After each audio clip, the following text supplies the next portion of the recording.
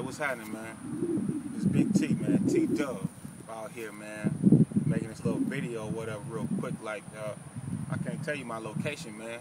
You feel me? But it's on some Facebook shit. Like, a lot of motherfuckers be out there, man, making their little dumbass updates. And you be seeing that shit and they be like, oh, my boyfriend, he's been cheating on me for five weeks. I don't know if I should take him back.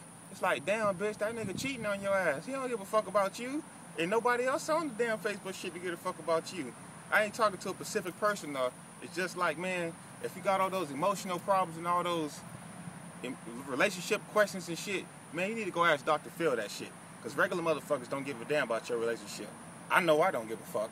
I know that sounds harsh and mean, but I keep it real in the field. I'm gonna tell your ass the truth. Hey, what happened? Yeah, we out here.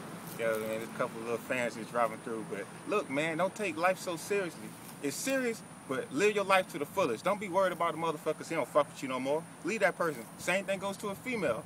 If a nigga out here fucking some chick and she like, oh, her pussy so good, everybody in the town want to fuck her, that might be a problem because shit, it's a lot of motherfuckers in town. Everybody want to fuck you? Everybody in the town?